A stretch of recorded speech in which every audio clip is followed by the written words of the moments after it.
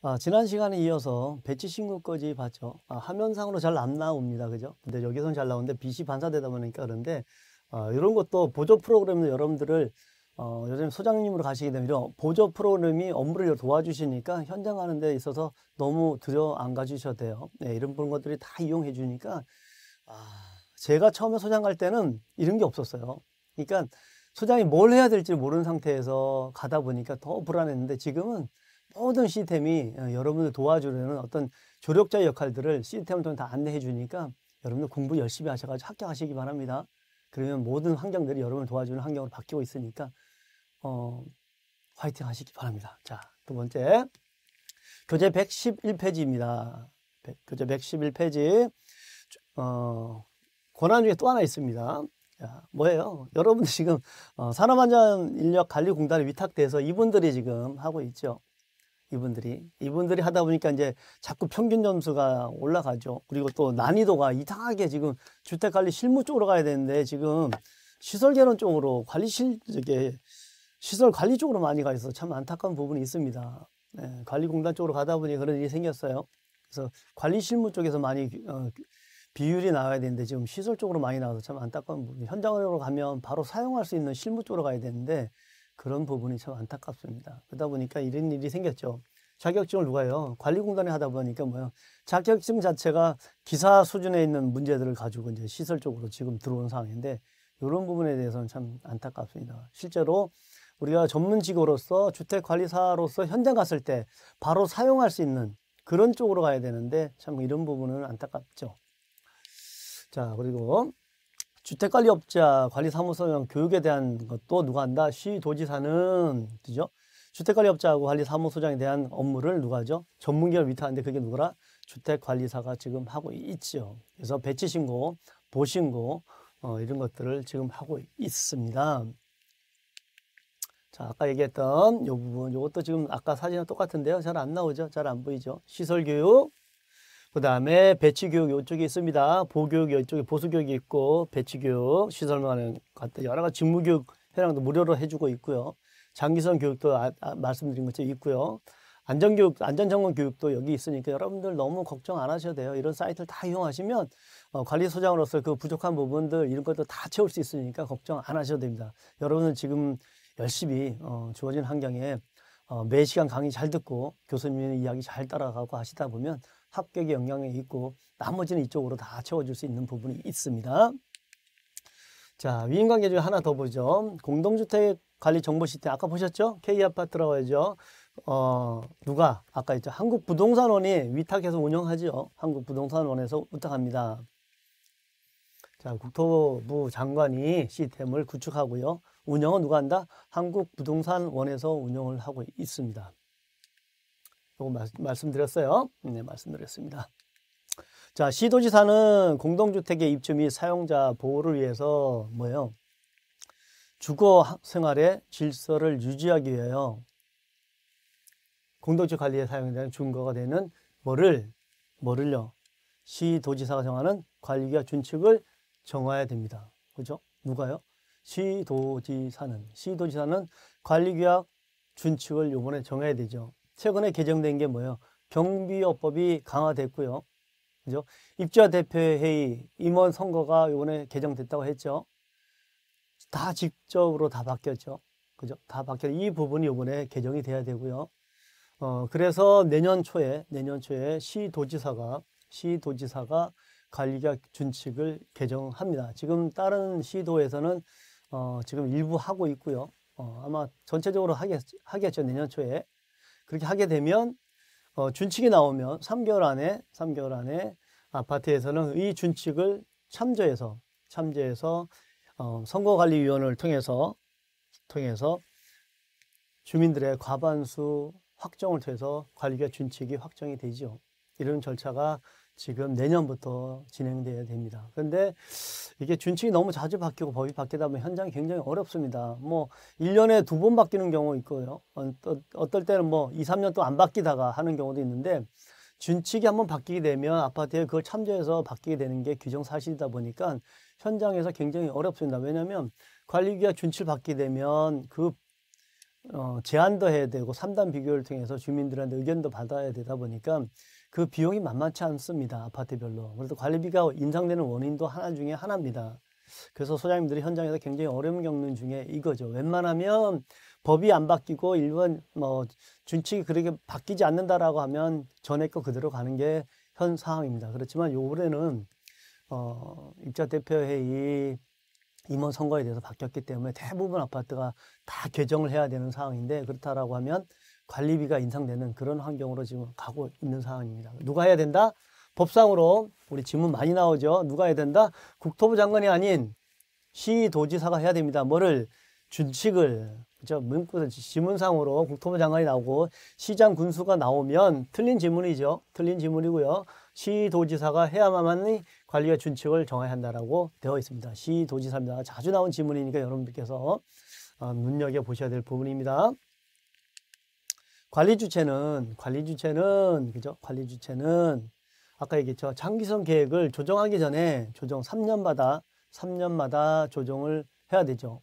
3년마다 검토를 해야 됩니다. 사실은 3년마다 검토하고 그 결과에 따라서 조정을 하는 거에 이제 정기 조정인데 어째 조정하기 전에 뭘 해당 해당 해당 관리 사무소장으로부터 누가 실시하는 시도지사가 실시하는 장기성 계획의 비용 산출 및 공사 방법에 관한 교육을 이것도 자주 나온 질문 중에 하나입니다. 조정하기 전에 조정하기 전에 이게 굉장히 어려운 부분이 하나입니다. 어려운 부분. 어, 그러다 보니까 이제 교육을 받죠. 왜 어렵냐면 이 비용 산출 공사 방법에 대해서 특히 비용 산출에 대해서 어, 시행사, 시공사에서 자료를 아파트에 제대로 줘야 되는데 자료를 안 줘요. 왜냐하면 그게 공사비가 노출된다는 이유 때문에 자료를 제대로 안 줍니다. 그 자료를 어마어마한 자료들을 우리한테 주지 않다 보니까 소장님들이 이걸 감당해야 돼요. 근데 우리 전문가가 어, 여러 가지 파트가 있는데 기계, 전기, 소방 여러 가지 파트가 있는데 그거를 다 할 수 있는 전문가는 아니지 않습니까? 그래서 소장님들 행정에 대한 전문가도 있을 거고 시설에 대한 일부분에 대한 전문가가 있는데 이걸 하기 위해서 많은 비용들을 산출해야 되는데 우리가 능력 밖에 있다 보니까 이걸 하기가 참 어려운 부분이 있습니다. 그래서 어떻게 한다? 관리 주체는 시도지사가 운영하는 장성 교육을 사전에 교육을 받을 게할수 있다는 지문이 자주 우리 문제화되고 있다는 사실을 여러분께서 기억해 주셔야 됩니다. 그래서 그래서 아까 얘기한 것처럼 장기 순서를 잘하는 분은 어, 소장이 평가 기준이 끝났다라고 이야기하는 이유가 여기 있습니다. 그래서 여러분 돌아가시면 이 부분이 굉장히 많은 난제로 다, 돌아올 겁니다. 어쨌든 우리는 어, 지문상으로 교육을 받을 수 있습니다. 네, 사전에. 자, 요거죠. 아까 말씀드렸던 장기성 계획. 누구나도 편리한 사용이 가능한 장기 운영 시스템을 여러분들이 교육을 통해서 받을 수 있습니다. 자, 주택관리사 보고 대련자는 아까 말씀드린 것처럼 시 합격한 다음에 시도지사부터 증서를 받으셔야 된다. 자, 일정 요건을 갖춰요. 주택관리사는 일정 요건을 갖춘데 어, 자격증을 발급받죠. 주택관리사 보러 합격된 사람은 뭐예요? 아까 얘기한 것처럼 주택관리사, 그죠? 300세대 이상, 150세대. 건축법에서 이야기한 건 또 틀리죠. 그럼 구분하셔야 됩니다. 예, 구분하셔서 어, 보통 3년 지나면 다 자격증 주택관리사 받으니까 너무 조급 안 하셔야 돼요. 결국 뭡니까? 주택관리사 자격증을 받는 500세대 이상을 갈 수 있다는 그런 환경 때문에 그러는 거잖아요. 별 차이 없습니다. 그렇지만 여러분들 경력을 차근차근 쌓으셔서 주택관리사의 자격증을 취득하시기 바랍니다. 자, 시도지사는 주택관리 등의 일정 사유에 해당되면 뭐예요? 자격을 취소하죠. 취소요. 그 다음에 1년 이내 2개월, 3개월, 6개월 이런 기준에 따라서 정지를 시킬 수가 있죠. 최근에 어, 주위에 소장님이 취소를 당하는 경우가 있었습니다. 안타깝죠. 취소되면 주택관리사 몇 년? 3년 동안 자격이 부여되지 않죠. 그죠? 주택관리사는 3년입니다. 취소되면 3년. 만약에 어떤 부분에 있어서 부정한 일이 있다, 고의 과실이 있다, 그죠? 있다라고 하면 2개월, 3개월, 6개월에 대해서 자격 정지가 이루어지죠. 그러면 그 동안은 어, 관리사무소장을 할 수가 없는 음, 환경이 되죠. 그런 일이 없기를 여러분께서 음. 자, 두 번째 어, 교육이죠. 주택관리업자, 법인인 경우는 그 대표자를 말하고요. 관리사무소장을 배치받는 자는 며칠 내에 15일 이내에 배치를 해야 되죠. 그리고 교육을 받아야 됩니다. 이 경우 관리사무로 배, 소장을 배치받으는 자는 주택관리사 등 영어로 정하는 바에 따라서 거, 교, 교육을 받을, 받을 수가 있죠. 이때 주택관리사부하고 주택관리 구분해서 교육을 받으셔야 되고요. 관리 사무 교육을 받은 걸로 이행한 걸로 본다라고 되어 있습니다. 배치 받으려면 반드시 교육을 받으셔야 배치한 날로부터 몇 개월, 3개월 이내에 교육을 받으셔야 되고요. 주택관리업자 그렇습니다. 자, 공동주택 시설에 대한 안전관리 진단 세부 사항은 어, 시도지사가 고시로 정합니다. 모범단지 누가 한다 그랬어요? 모범단지 모범단지 누가 한다 그랬어요? 시도지사는 그죠? 모범단지 시도지사는 공동주택 단지를 모범적으로 관리한 사례를 발굴 전파하기 위하여 매년 매년 공동주택 모범단지를 선정할 수 있습니다. 의무상 아니기 때문에 하는 단지 시도지사가 있고 안 하는 단지가 시도지사가 있습니다. 근데 하면 좋겠죠. 사례를 발굴해서 많은 것들을 어, 공유할 수가 있고 이야기할 수 있고 전파할 수가 있고 그렇습니다. 시도지사 모범관리단지를 하는 겁니다. 우수단지 누가 한다?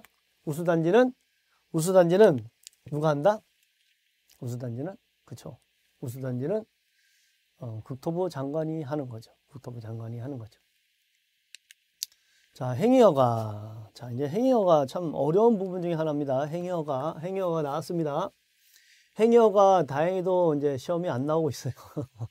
어, 행여가 도표에 대해서 잘 안 나오고 있으니까 너무 염려하지 마시고 나중에 이제 문제를 통해서 다 확인되는 거니까요. 네. 행여가 할 때는 공동주택의 입주자, 사용자, 입주자 등이란 표현이 없죠. 그죠?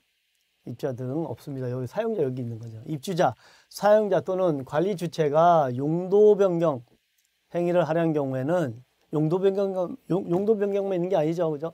파선 철거도 있고요. 증축도 있고요. 그죠? 개축, 재축, 대수도 있습니다. 행위를 하려는 경우는 시장 군수구청에 허가를 받거나 신고를 해야 된다라고 여러분께서 기억해 주셔야 됩니다. 당연한 거죠. 네. 시장 군수구청 허가를 받고 신고를 두 가지 허가를 받거나 신고를 해야 됩니다. 자, 시장 군수 업무 중에 하나입니다. 아까는 어, 시도지사 업무 중이었고요. 지금은 시장 군수 구청장에 대한 업무를 말씀드리고 있어요. 자, 관리 방법 결정. 그죠? 관리 방법 결정 누가 어떻게 하죠? 10분의 1 입사 대표회의에서 하죠.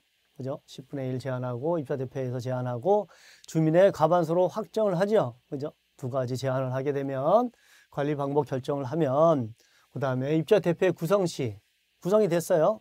그죠? 관리 규약을 통해서 선거 어, 구에 따라서 입주자 대표 구성되면 신고 통지 누가 해요? 입주자 대표 회장이 하죠. 그죠? 입주자 대표 회장은 관리 방법이나 결정한 경우에 며칠 이내 30일 이내에 시장 군수 구청장에 신고하고 사업 주체에게 통보해야 되죠. 여러분들 요 지문 가로넣기 한다라면 30일 아니면 15일 어, 반드시 구분해 주셔야 됩니다. 누가 한다? 입주자 대표 회장은 그죠? 입주자 대표 회장은 30일 안에 누구한테 시장 군수 구청장이 하고요. 사업 주체하는 거는 신규 아파트 최초 입주하는 아파트에서는 사업 주체까지 우리가 이렇게 구성했다. 이제는 뭐 사업 주체는 이제 우리 아파트에도 이제 빠져라. 그죠? 인수인계 받는 거죠. 인수인계 다 받고 이제 입주자 대표로서 어, 다시 이제 관리 규약을 따라서 업체를 선정하는죠. 어, 그때 이제 위탁 관리 업체가 들어오든 자치가 들어오든 선정을 하시면 되는 거죠. 그러면 이제 사업 주체는 이 단지에서 이제 빠지는 거죠. 그럼 이제 입주자 대표의 구성원으로 위탁관리 업체로서 이제 구성이 돼서 이 단지가 이제 진행을 하는 거죠. 그때 그때 회장은 30일 안에 뭐 변경이나 구성에 대해서 반드시 30일 안에 해야 된다. 이 지문도 자주 나오는 지문 중에 하나니까 여러분께서 반드시 기억을 해 주셔야 됩니다. 세 번째, 공동관리 또는 구분관리죠. 그죠? 어, 공동관리나 구분관리 결정 시에도 마찬가지입니다. 공동관리 구분 시에도 유치자 대표회의는 공동주택을 공동관리하거나 구분관리할 것을 결정한 때에는 지체 없이 시장 군수구청장에게 통보해야 됩니다. 이거는 기간이 없어요. 그냥 지체 없이라고 합니다. 공동관리, 구분관리 기억나죠? 몇 세대 구분하는지. 자, 공동관리, 구분관리에 대해서도 여러분께서 자주 나온 지문이니까 살펴보시고 지체 없이 하셔야 됩니다. 자, 네 번째 시장 군수 업무 중에 네 번째입니다. 입주자 대표 회의의 구성원은 뭐 해야 돼? 아까 교육 받아야 된다 그랬죠? 누구한테 시장, 군수, 구청장이 운영하는 교육을 받으셔야 된다고 얘기했어요. 아니면 지원센터에 가서 온라인 교육 받아도 되고요. 오프라인 교육 받아도 되고요. 구성원은 교육을 실시하는 시장, 군수, 구청장에 선출된 동별로 매년, 매년 몇 시간? 4시간에 4시간. 매년, 매년이에요. 매년 4시간의 운영 윤리 교육을 받으셔야 됩니다. 그리고 어, 희망하는 누구도 입주자 등도 어, 실시할 수 있습니다. 어, 최근에 음, 작년이죠, 작년, 재작년이구나, 재작년에 입주자 등도 오셨어요. 누구? 선거위원들. 입주자 등에 누구? 선거관리위원들도 교육에 참석해달라고 해서 오셔서 교육받은 적이 있어요. 오셔서 선거관리위원들 많이 온 중에 하나입니다. 입주자 등이라 하면 선거관리위원들도 많이 오셔요. 그래서 교육받습니다. 근데 이제 어, 비용이 이제 수반되기 때문에 입주, 이분들은 공식적으로 대표이기 때문에 운영 비, 규정이 있어서 돈이 나가지만 이분들 입주자 등은 특히 선거관리위원들은 그런 규정이 없기 때문에 집행이 안 되죠 돈이. 그런 아쉬움이 좀 있습니다 현장에서는. 자 여기서 마찬가지고 교육을 이렇게 받고 있다. 아까 자료 제가 잠깐 보여드렸습니다.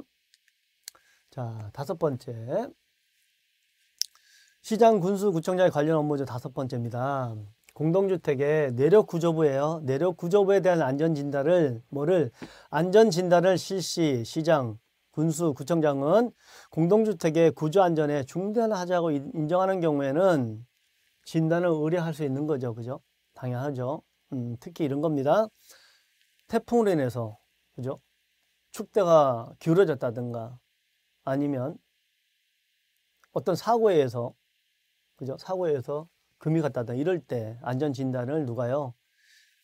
시장 군수가 인정하는 거죠. 하자가 중단 하자가 있다, 있다 라고 하면 진단 의뢰를 할 수 있는 거죠. 진단 기구에 대해서 여러 가지 이제 기, 어, 기관이 있으니까 나중에 한번 살펴보는 걸 하고요. 안전 진단 할 수 있습니다. 그렇지 않습니까?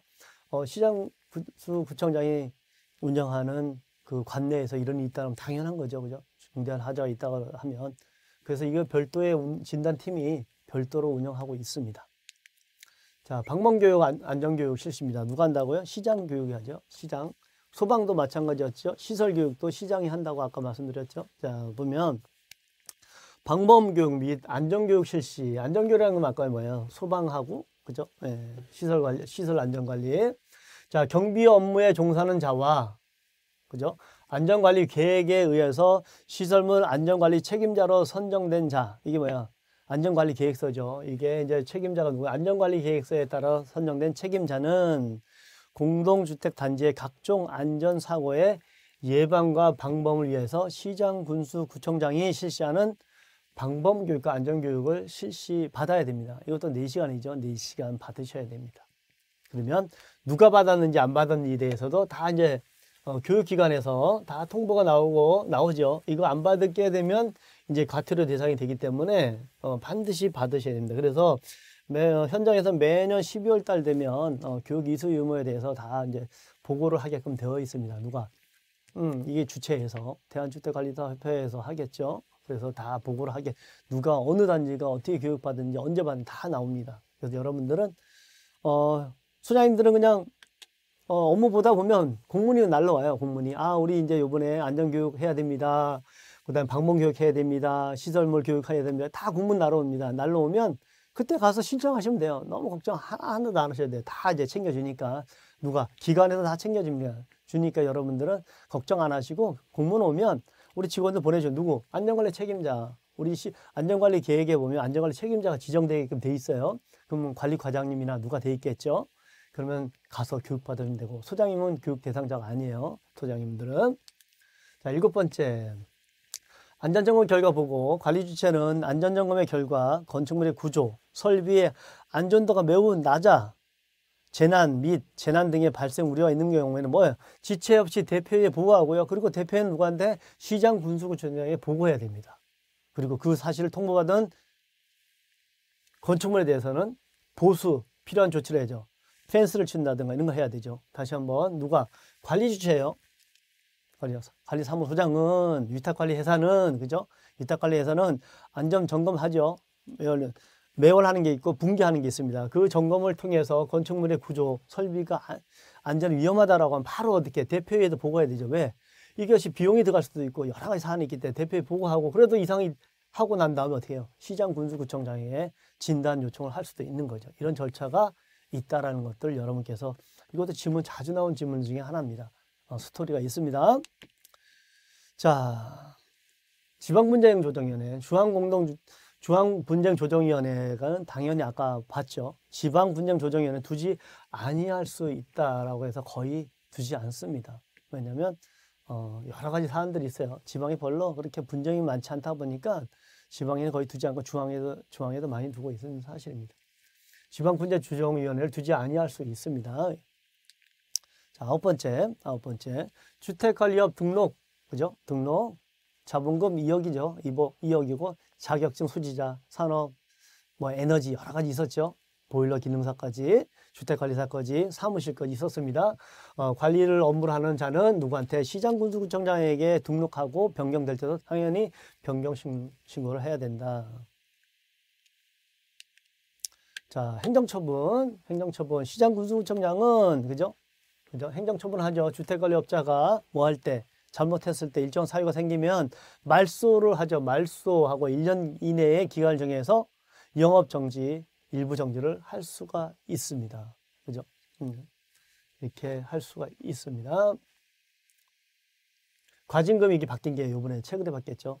어, 과징금이 영업 정지, 일부 정지할 때 과징금이 천만 원에서 이천만 원 바뀌었다. 요거는 최근에 개정된 사항입니다. 천만 원에서 이천만 원으로 과징금이 바뀌었습니다. 자, 열한 번째. 관리사무소장의 배치 등 신고, 그죠? 누가요? 원래 시장 군수정리 하는데, 시장 군수 하는데 이거를 누구한테? 어, 주택관리 단체에다가 위임한 상황이죠.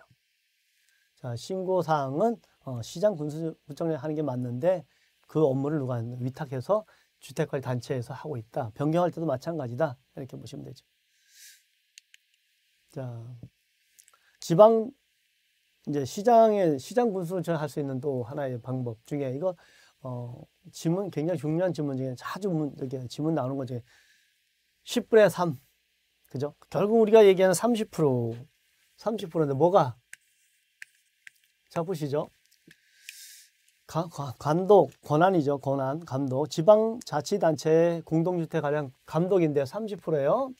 공동주택 입주자 등은 이 법에 따른 명령이나 처분을 위반했을 때 조치가 필요한 경우 공동주택 단지에 분쟁이 있어 조정하는 경우 입주자 대표의 관리규 위반하는 경우 이런 경우에서는 입주자 등의 10분의 3인 이상의 동의를 받아서 지방자치단에게 감사를 요청할 수 있죠. 이런 경우에는 주민들의 입주자 등의 10분의 3이에요. 10분의 3의 동의를 받아서 아, 이러이런 부분이 잘못하고 있으니까 조사해 주세요. 감독해 주세요. 라고 할 수 있다는 거죠. 그렇다라고 하면 이것을 가로넣기로 한다라고 하면 어떻게 할까요? 30%로 써야 될까요? 아니면 10분의 3으로 써야 될까요? 여러분들은 당연히 지문에 있는 대로 숫자대로 문자대로 포함해서 10분의 3 이상이라는 표현을 정확하게 어, 써 주셔야 됩니다. 이렇게 쓰셔도 안 돼요. 이렇게 그냥 10분의 3 이상 문자 그대로 지문 그대로 우리 교재 그대로 여러분께서 쓰실 때 이렇게 쓰셔야 됩니다. 이것도 자주 나온 지문 중에 하나죠. 30% 이상을 받으면 어, 입주자 등은 지자체 관리감독기관에다가 감사 요청을 할 수가 있습니다. 지방자치단체장은 그죠? 이런 요건이 들어오면 명령이나 조사 또는 검사, 감사 결과 했어요. 통보를 하는 경우에는 감사 결과 통보하는 경우는 그 내용을 입주자 대표회하고 누가 하고 관리주체에 두 개 다 통보를 하죠. 입주자 대표회와 관리주체에 통보를 합니다. 그 결과를 이제 어떻게 해야 되는지 다음 장에 또 나오겠죠. 자, 통보를 받은 입주자 대표의 관리 주체는 그죠? 입주자 대표는 뭐 이제 게시하는 건 아니지만 이제 관리 주체에서는 대부분의 업무가 이제 관리 주체에서 하는 업무에 대해서 감사 요청을 한 거죠. 누가 주민의 10분의 3이 요청하게 되면 그 통보를 하죠. 누가 시장 군수구청에 통보합니다. 관리 주체에게 하게 되면 통보를 받은 날로부터 10일 안에 통보를 받 10일 안에 뭐에다 게시해야 되는 거죠. 며칠 동안 7일 동안 하는 거죠. 10일 안에 내용을 단지의 인터넷 홈페이지 동별 게시판에다가 7일 이상을 공개해야 됩니다. 자, 받은 날로부터 10일 안에 해야 되는데 7일 동안은 게시를 하면 7일 동안은 게시를 해야 되는 거죠. 그죠? 게시를 했다. 10일 안에 게시를 하는 건데 7일 동안 게시해야 된다. 이 질문도 자주 나오는 거니까 여러분께서 보시기 바랍니다. 이 경우 동별 대표, 동별 게시판 또는 통보받은 일자, 통보 기간, 통보 기간이라면 뭐 각 지자체겠죠. 관계 부서, 주요 내용, 어떤 내용들이 지적됐는지, 어떤 것들이 위반됐는지, 그 다음에 어떻게 어떻게 조치, 조치하라는 요약된 것들을 공개를 해야 된다는 사실을 아파트의 누가 감독기관인 지자체에서 할 수 있다는 겁니다. 그래서 여러분들은 현장에서 어, 법을 잘 준수하셔야 됩니다. 법을 잘 준수해야 이런 것들을 음, 안 할 수 있습니다. 법을 위반하게 되면 어때요? 조치 사항이 나오고요. 주요 내용들이 나와서 그거를 어떻게 어떻게 알아 행정 명령이 나가는 게 되 는 거죠. 그래서 여러분들은 어, 지금 배우는 이 실무에 대해서 현장에서 사용할 게 있기 때문에 어, 이런 내용이 있다라고 정도 10일 이내에 7일 이상 공개해야 된다는 사실을 여러분 기억해 주시기 바랍니다. 자, 신고센터를 운영하죠. 신고센터. 국토부 장관은, 국토부 장관은 공동주택 관리, 비, 관리 비리와 관련된, 그래서 우리 소장님들은 증권을 발행하죠. 관리 비리와 관련된 불법 행위, 신고의 접수, 처리 등에 관한 업무를 효율적으로 수행하기 위해서 공동주택 관리 비리 신고센터를 운영할 수 있습니다. 그죠? 어, 그게 뭐예요? 비리라는 거는 관리 비리라는 건 뭐예요? 불법 행위라는 건 뭐예요? 어, 우리 관리 주체가 관리 주체가 어떤 어, 대표 의사 결정을 함에 있어서 그거를 따라갔을 때 법을 위반된 사항이 있다라고 하면 어떻게 해요? 다시 그거를 제한해서 법을 위반하지 않게 해야 되는데 현실은 그렇지 않죠. 대표의 결정되면 우리는 따라가는 입장이다 보니까 그런 부분이 어렵습니다. 그러면 결론 결론적으로 그것이 뭐가 된다? 비리가 되는 거죠. 비리가 되는 거죠. 그래서 이런 지원 관리비 지원 센터를 운영하고 있는 거지요. 자, 국토부 장관은 비리센터 설치한다. 그죠? 설치한다. 신고센터장은 누가 부서장은 관리 업무를 총괄하는 부서장으로 하고요. 어, 담당 지원은 공무원들을 한다. 센터장은 그렇습니다. 부서장하고 총괄 어, 지, 공무원들이 하고 있다. 이렇게 보시면 되죠. 자, 다음에 각 업무들을 하죠. 어떤 내용들이 있을까요? 자, 공동주택 관리의 불법 행위 관련된 신고 상담 및 접수를 일단 받죠. 해당 지자체, 지자체 당회장에게 신고하죠. 어, 중앙에 있다 보니까 중앙에서 접수를 받은 것을 각 지자체에다가 어때요? 그죠? 조치 요구를 하죠. 이런 부분이 접수됐으니까 조치해 주세요라고 하는 거죠. 그리고 신고인에게는 이런 신고한 사람에게는 그 결과 조치에 대해서 통보를 해줘야 되죠. 그죠? 통보를 해줘야 됩니다. 자, 이 경우 신고하려는 자는 신고하는 자는 자신의 인적 상황과 신고의 취지, 이유, 이유 내용을 적고 서명한 문서와 함께 신고 대상 증거를 제출해야 합니다. 대부분 누가 하냐면 입주자 대표회의에서 합니다. 그리고 입주자 대표회의에서 떨어진 사람, 떨어진 사람들이 하고요. 또 하나 직원들이 합니다. 직원들. 음, 직원들이 해요. 그러니까 소장님들은 직원들하고 잘 유대 관계를 가지셔야 돼요. 직원들이 우리 아, 업무에 대해 가장 잘 알고 있잖아요. 그 업무에 대해서 부당하다라고 하면 소장님하고 인간관계 형성이 잘 안 되고 있다라고 하면 내부 고발하는 경우가 간혹 있습니다. 그렇게 되면 소장이 굉장히 어려움이 겪죠. 그게 최근에 일어나는 사례 중에 하나입니다. 신고하는 자는 다음에 갖고 사항들이 있어야 됩니다. 첫 번째부터 여섯 번째 있는데 이렇게 여러분께서 자 성명, 주소, 연락처, 인적사항, 기타 사항들입니다. 경위, 이유, 어, 장소, 그다음 참고 증거 자료들을 해야 되죠. 근데 이것이 이제 보완해야 되는 부분도 있죠. 이런 것들을 해야 되고요. 다음에 같은 사항들을 하고요. 어, 동의 여부, 처리 절차 등에 대해서 설명해 줍니다. 어, 센터에서는 해주고 요거죠.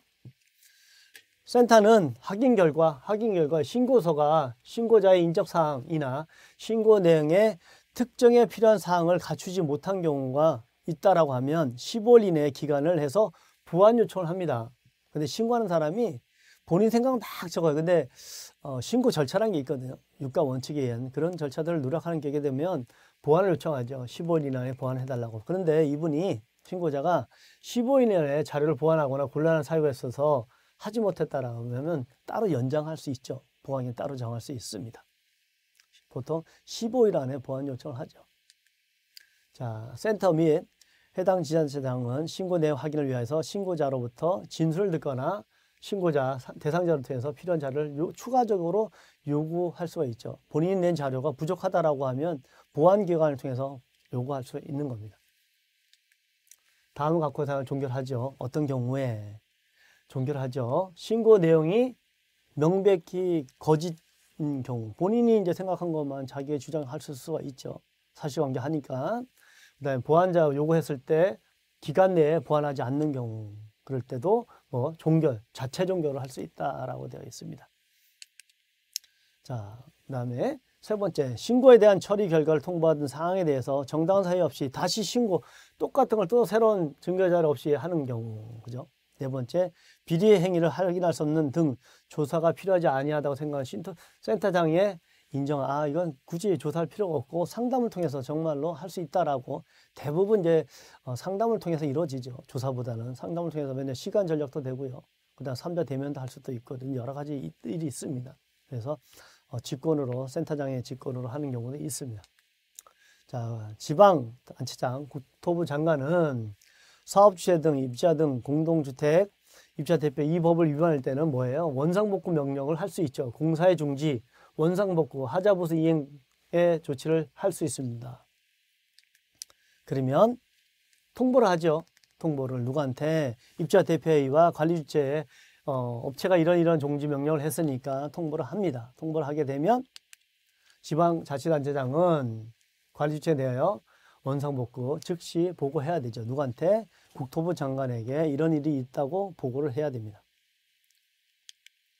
자, 행위 허가에 대해서 다음 시간에 잠깐 쉬었다가 진행하겠습니다.